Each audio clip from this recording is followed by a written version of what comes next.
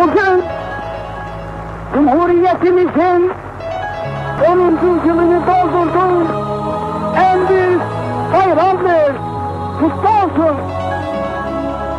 Şu anda büyük Türk milletinin bir ferdi olarak bu kutlu güne kavuşmanın en derin sevinci ve heyecanı içindeyim.